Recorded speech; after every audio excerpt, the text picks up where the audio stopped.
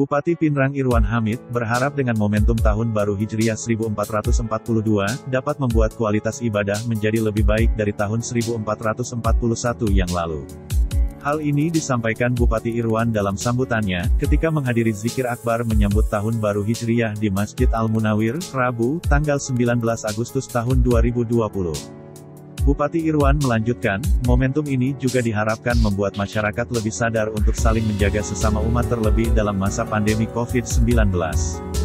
Bentuk saling menjaga ini direfleksikan dalam bentuk mematuhi protokol kesehatan agar dapat menghindari penyebaran virus corona. Dalam zikir akbar menyambut tahun baru Hijriah yang tiap tahun digelar ini, dihadiri oleh Wakil Bupati Pinrang, Dr. Andes Haji Alimin, MSI, Kepala Kepolisian Resort Pinrang, AKBP Dwi Santoso, Sekda Pinrang, Insinyur Budaya, serta Ketua Majelis Ulama Indonesia Kabupaten Pinrang, Kiai Haji Abdul Salam Latarepi.